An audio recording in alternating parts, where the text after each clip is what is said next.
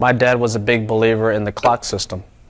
And what I mean by that is this is 6 o'clock. Obviously, up here right behind my head is 12 o'clock. And well, my dad was a big believer in, for some reason, always taking it back to where you felt it was, I guess it's uh, 9 o'clock. And I, I, never liked it on, on, on wedge shots. Always been, yeah, you know, I, yeah, okay, I'll go at 9 o'clock, whatever, Pop. You know, you don't, you don't know anything. Later in life, what do you think I'm doing now? I'm going right back to the old right. basics. Yeah, going back to what I feel is 9 o'clock there and go ahead and hit the shot. And what I found is I went ahead and stepped off my yardages. And what I feel is 9 o'clock and I hit the shot with a, with a wedge, it goes a certain distance. Same thing with a sand wedge, 10 o'clock, 11 o'clock, and so forth and so on.